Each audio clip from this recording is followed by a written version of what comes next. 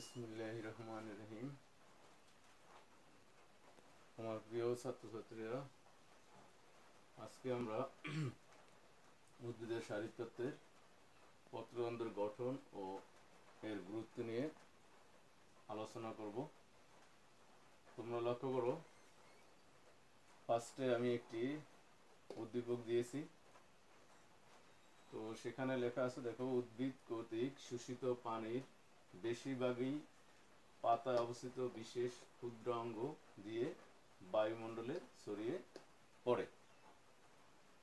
তো এখানে বলা হয়েছে, দেখো, উদ্ভিদ কর্তৃক শোষিত পানির বেশিরভাগই পাতায় অবস্থিত বিশেষ ক্ষুদ্রাঙ্গ দিয়ে বায়ুমণ্ডলে ছড়িয়ে পড়ে। বিশেষ ক্ষুদ্রাঙ্গটা কি সেটা আমাদের জানতে হবে।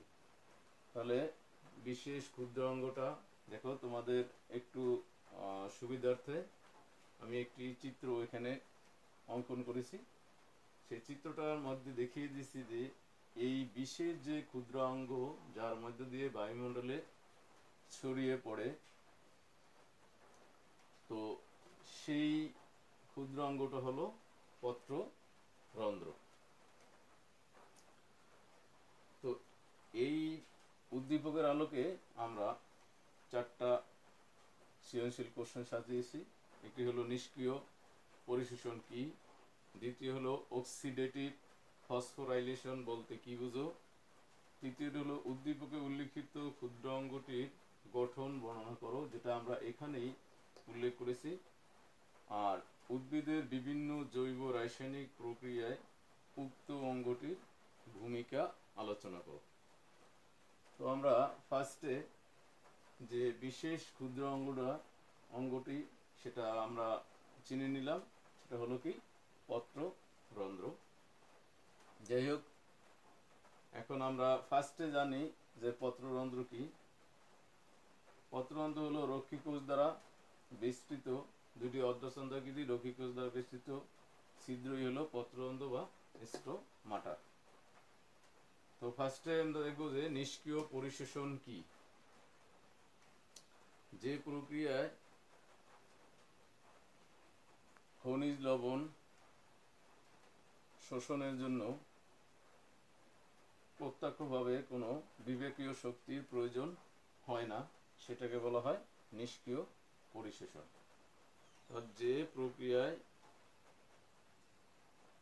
লবণ পরিশোষণের জন্য বিপাকীয় কোনো শক্তির প্রয়োজন হয় না, সেটাকে বলা হয় নিষ্ক্রিয় পরিশোষণ। দ্বিতীয় কোশ্চেনটা আমরা দেখি অক্সিডেটিভ ফসফোরাইলেশন বলতে কি বুঝো? বা ফসফোরাইলেশন বলতে কি বুঝো? এটা আমরা গত ক্লাস আলোচনা করেছি। অক্সিডেটিভ ফসফোরাইলেশন বলতে কি বুঝো? এটা একটা নতুন কোশ্চেন দেখো। এখানে আমরা একটা পত্রবন্ধের চিত্র আঁকলাম। তো অক্সিডেটিভ ফসফোরাইলেশন হলো ইলেকট্রন ট্রান্সফার সিস্টেমের মাধ্যমে ইলেকট্রন ট্রান্সপোর্ট সিস্টেম অর্থাৎ ইলেকট্রন প্রবাহ তন্ত্রের মাধ্যমে শক্তি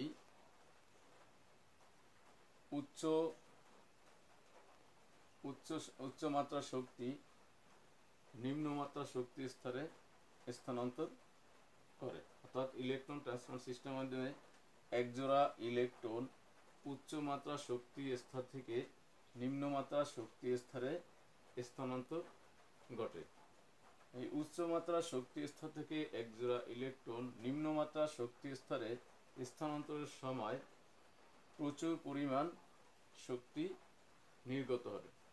সেই শক্তির সাহায্যে এডিপি অর্থাৎ এডিনোসিন ডাইফসফেট এবং পিআই অর্থাৎ ইনঅর্গানিক ফসফেট সংযুক্ত হয়ে এটিপি তৈরি করে।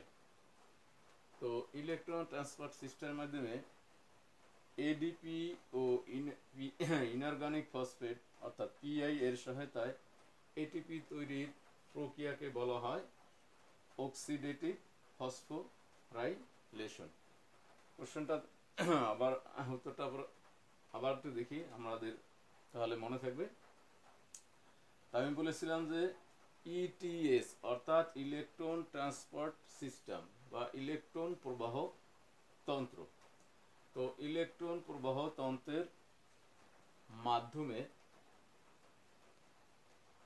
একজোড়া ইলেকট্রন উচ্চ শক্তি মাত্রা থেকে নিম্ন শক্তির মাত্রায় স্থানান্তর ঘটে। তো উচ্চ শক্তির মাত্রা থেকে একজোড়া ইলেকট্রন নিম্ন শক্তির মাত্রায় স্থানান্তরের সময় বিপুল পরিমাণ শক্তি নির্গত করে। এই শক্তির সাহায্যে এডিপি ও ইনঅর্গানিক ফসফেট অর্থাৎ ইআই সংযুক্ত হয়ে এটিপি তৈরি করে। তো ইলেকট্রন ট্রান্সফার সিস্টেমের মাধ্যমে বা ইলেকট্রন প্রবাহ তন্ত্রের মাধ্যমে এডিপি ও পিআই এর সহায়তায় এডিনোসিন ট্রাইফসফেট অর্থাৎ এটিপি তৈরির প্রক্রিয়াকে বলা হয় অক্সিডেটিভ ফসফোরাইলেশন তাহলে আমাদের দ্বিতীয় কোশ্চেনটা হলো, তৃতীয় কোশ্চেনে দেখো, লেখা আছে, উদ্দীপকে উল্লিখিত ক্ষুদ্রাঙ্গটির গঠন বর্ণনা করো। উদ্দীপকে উল্লিখিত যে বেশিরভাগই পাতার অবস্থিত বিশেষ ক্ষুদ্রাঙ্গ দিয়ে বায়ুমণ্ডলে ছড়িয়ে পড়ে তাহলে উদ্দীপকে উল্লিখিত বিশেষ ক্ষুদ্রাঙ্গটি হলো পত্র রন্ধ্র তাহলে পত্ররন্ধ্র হলো একজোড়া অর্ধচন্দ্রাকৃতি রক্ষীকোষ এবং একটি ছিদ্র নিয়েই পত্ররন্ধ্র গঠিত। তো পত্ররন্ধ্রে একটি সুস্পষ্ট নিউক্লিয়াস, বহু ক্লোরোপ্লাস্ট এবং ঘন সাইটোপ্লাজম থাকে। একটু মনোযোগ দিয়ে শোনো আবার আবার বলি। পত্ররন্ধ্র একজোড়া অর্ধচন্দ্রাকৃতি রক্ষী কোষ এবং ছিদ্র নিয়েই পত্ররন্ধ্র গঠিত। এর ভিতরে একটি সুস্পষ্ট নিউক্লিয়াস, বহু ক্রোলোপ্লাস্ট এবং ঘন সাইটোপ্লাজম থাকে। তো বহু ক্লোরোপ্লাস্ট থাকার পরিপ্রেক্ষিতে রক্ষীকোষ খাদ্য উৎপাদন করতে পারে বা খাদ্য তৈরি করতে পারে। এছাড়াও পত্ররন্ধ্রের ত্বকীয় কোষ ছাড়াও বিভিন্ন আকার আকৃতির সহকারী ত্বকীয় কোষ থাকে। পত্ররন্ধ্রের নিচে অথবা স্টোমাটার নিচে একটি বড় বায়ু কুঠুরি থাকে। তো আমরা পত্ররন্ধ্রের গঠনটা আরেকটু দেখি। বলেছি, একজোড়া অর্ধচন্দ্রকৃতি রক্ষী কোষ, রন্ধ্র অর্থাৎ পাতা ছিদ্র নিয়ে পত্ররন্ধ্র গঠিত। এতে একটি সুস্পষ্ট নিউক্লিয়াস, বহু ক্লোরোফিল এবং ঘন সাইটোপ্লাজম থাকে। কি কি থাকে? একটি সুস্পষ্ট নিউক্লিয়াস, বহু ক্লোরোফিল এবং ঘন সাইটোপ্লাজম থাকে। তো ক্লোরোফিল বহু ক্লোরোফিল থাকার পরিপ্রেক্ষিতে বা থাকার কারণেই রক্ষী কোষ কি করে? প্রচুর খাদ্য তৈরি করতে পারে। এছাড়াও রক্ষী কোষে ত্বকীয় কোষ ছাড়াও বিভিন্ন আকার আকৃতির অনেকগুলো সহকারী ত্বকীয় কোষ থাকে। আর পত্ররন্ধ্রের নিচে অথবা স্টোমাটার নিচে একটি বড় বায়ু কুঠুরি থাকে। এটা হলো পত্ররন্ধ্রের গঠন। সর্ব শেষ কোশ্চেন অথবা সর্ব লাস্ট কোশ্চেনে আমরা যাই। লেখা আছে, উদ্দীপকের বিভিন্ন জৈব রাসায়নিক প্রক্রিয়ায় উক্ত অঙ্গটির ভূমিকা আলোচনা করো। তাহলে উক্ত অঙ্গটি কোনটা? এই পত্ররন্ধ্র। তো উদ্ভিদের বিভিন্ন জৈব রাসায়নিক প্রক্রিয়ায় উক্ত অঙ্গটির অর্থাৎ পত্ররন্ধ্রের ভূমিকা আলোচনা করো। আমরা লিখেছি এখানে কি? গুরুত্ব। তাহলে আমরা দেখব যে বিভিন্ন জৈব জৈব রাসায়নিক প্রক্রিয়ায় এই ক্ষুদ্র অঙ্গটির অর্থাৎ পত্ররন্ধ্রের ভূমিকা কি? তো তো পত্ররন্ধ্রের মাধ্যমে কি হয়? প্রশোধন হয়। প্রশোধন কি? উদ্ভিদ যে প্রক্রিয়ায় তার দেহের অতিরিক্ত পানি বাষ্পাকারে বায়ুমণ্ডলে ছেড়ে দেয়, সেটাকে বলা হয় প্রশোধন তো উদ্ভিদ যে প্রক্রিয়ায় তার দেহে অতিরিক্ত পানি বাষ্পাকারে বায়ুমণ্ডলে ছেড়ে দেয়, সেটাকে বলা হয় প্রশোধন তো পত্ররন্ধ্রের মাধ্যমে প্রশোধন ঘটে। যার ফলে খনিজ লবণ উদ্ভিদের মূলে কাছে চলে আসে এবং মূলরুম মূলের কাছে চলে আসে এবং প্রশোধনের ফলে বাহিকা নালীতে যে টানের সৃষ্টি হয়, সেই টান এই উদ্ভিদকে উদ্ভিদকে মূলরুম থেকে খনিজ লবণ পরিশোষণে সহায়তা করে। অর্থাৎ জীবন বাঁচাতে যে পানি জীবন রক্ষার্থ যে পানি, সেই পানি শোষণে পত্ররন্ধ্রের ভূমিকা আছে। তো পত্ররন্ধ্র গাছকে অতিরিক্ত গরম থেকে রক্ষা করে এবং পরিবেশের তাপমাত্রা বজায় রাখে। পাতা সূর্য থেকে প্রচুর পরিমাণে তাপ শক্তি শোষণ করে। এই তাপ শক্তির শতকরা এক ভাগই জৈব রাসায়নিক প্রক্রিয়ায় ব্যবহৃত হয়। বাকি তাপ শক্তি এই পত্ররন্ধ্রের মাধ্যমে বের করে দেয়। যদি পত্ররন্ধ্রের মাধ্যমে বাকি তাপ শক্তি বের কর, বের না হতো, তাহলে গাছ মারা যেত। এরপরে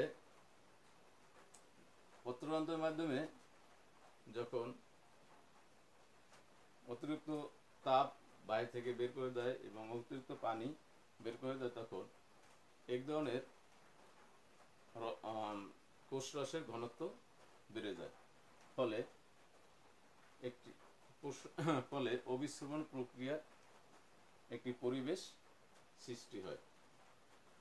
আর পত্ররন্ধ্রের মাধ্যমে প্রশোধনের সময় যে পানি বের হয়ে যায় তার ফলে পাতায় এক ধরনের পানি গ্রাসী লবণ পরিবেশের সৃষ্টি হয় বা লবণায়ন সৃষ্টি হয়, যেটা উদ্ভিদকে বিভিন্ন ধরনের ছত্রাক থেকে রক্ষা করে। তো পত্ররন্ধ্র সালোক সংশ্লেষণেও ভূমিকা পালন করে। ভূমিকা পালন করে। প্রশোধনের মাধ্যমে যে পানি বের হয়ে যায়, উদ্ভিদের মূলরোম কর্তৃক সেই পানি আবার পুনরায় শোষিত হয়, যেটা সালোক সংশ্লেষণে ব্যবহৃত হয়। তো উপরোক্ত আলোচনা থেকে আমরা এটা বলতে পারি যে, উদ্ভিদের বিভিন্ন জৈব রাসায়নিক প্রক্রিয়ায় পত্ররন্ধ্রের ভূমিকা অপরিসীম। তো তোমাদের সুবিধার্থে আমি চার নম্বর কোশ্চেনের উত্তরটা আবার রিপ্লাই করি। হয়তো অনেকে ভালোভাবে গ্যাদার করতে পারোনি। লেখা হয়েছে যে, দেখো, বিভিন্ন জৈব রাসায়নিক প্রক্রিয়ায় ক্ষুদ্র অঙ্গটির ভূমিকা আলোচনা করো। তো, এর মধ্যে ফার্স্টে আমরা বিভিন্ন জৈব রাসায়নিক প্রক্রিয়ার মধ্যে প্রশোধন দিয়ে আলোচনা করো পত্ররন্ধ্রের মাধ্যমে প্রশোধন হয় আর প্রশোধনের ফলে যে অতিরিক্ত পানি বের হয়ে যায়, তার ফলে খনিজ লবণ উদ্ভিদের মূলের কাছাকাছি চলে আসে এবং মূলরম কর্তৃক শোষিত হয়। তো এর ফলে পরিবহন নালিকাতে যে চাপ সৃষ্টি হয়, সেই আচ্ছা টান সৃষ্টি হয়, সেই টানেই উদ্ভিদ মূলকে খনিজ লবণ পরিশোষণে সহায়তা করে। তাই জীবন রক্ষাকারী পানি, শোষণে পত্ররন্ধ্রের ভূমিকা আছে। তো পত্ররন্ধ্র মাধ্যমে দেহের অতিরিক্ত তাপ বের করে দেয় এবং পরিবেশের উপযুক্ত তাপমাত্রা বজায় রাখে। পাতা সূর্য থেকে প্রচুর পরিমাণে তাপ শক্তি শোষণ করে যা শতকরা এক ভাগ জৈব রাসায়নিক প্রক্রিয়ায় ব্যবহৃত হয়। বাকি তাপমাত্রা প্রশোধনের মাধ্যমে বের করে দেয় পত্ররন্ধ্র দিয়ে বের করে দেয়। তো এর ফলে গাছ মৃত্যুর হাত থেকে রক্ষা পায়। তো